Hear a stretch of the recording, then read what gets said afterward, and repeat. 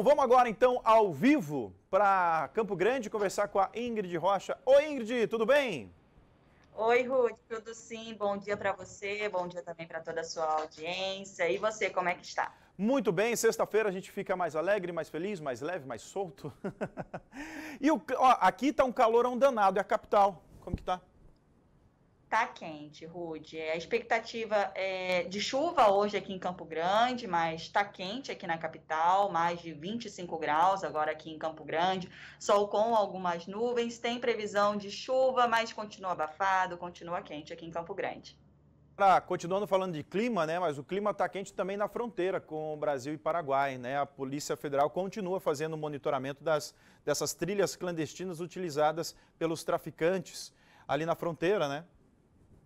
Isso, Rude. Ontem a gente falou aqui sobre a Operação Rastro, que está é, investigando esse tráfico de drogas entre é Brasil bonita. e Bolívia, e hoje tivemos mais informações em relação a essa operação. Os policiais da a Polícia Federal descobriu que essas trilhas ficam em território do Exército e disseram então que essas trilhas é, foram é, criadas ali e os criminosos estavam utilizando elas e que com essas trilhas eles andavam praticamente 500 quilômetros para atravessar a fronteira. É, entre as drogas, é, seria utilizada, foi encontrada com eles a pasta base de cocaína. Segundo a polícia, essa investigação começou em janeiro do ano passado, quando dois brasileiros foram encontrados nessa trilha com cocaína.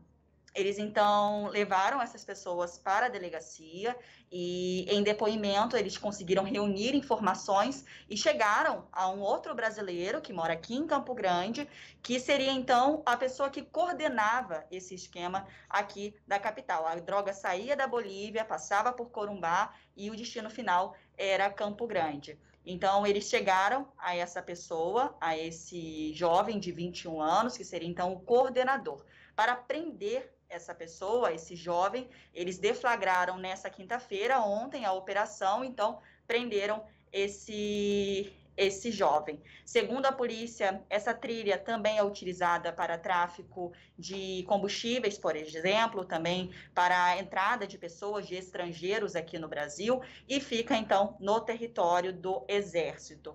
Ah, de acordo com as investigações da Polícia Federal, não foi encontrado nenhum vínculo, nada que ligue o Exército a esse contrabando entre a esse tráfico entre Brasil e Bolívia, e o Exército até o momento também não se posicionou sobre esse assunto. Rude.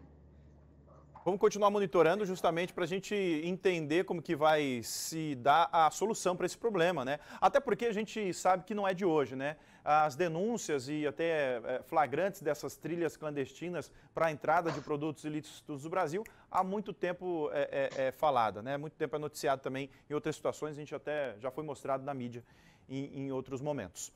Ingrid, muito obrigado, viu? Um forte abraço para você.